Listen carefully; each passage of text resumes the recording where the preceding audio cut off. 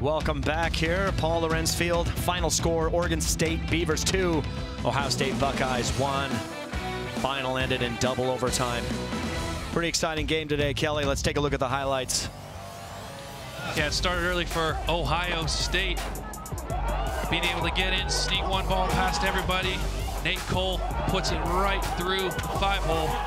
Give Ohio State that 1-0 lead. But second half, Oregon State comes roaring back.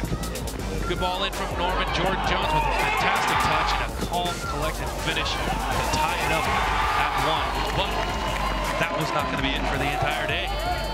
We get into late in the game and Jordan Jones running behind. Is it a red card? Oh, everybody thinks so, and then we see the offside call. So the referee has to rescind the red card. All 11 players stay on the field for both teams and the sudden victory. Don Tchilao picks up the ball deep in his zone and able to dribble past everybody. Great finish to that far post. And Oregon State able to come away with a 2 to one victory.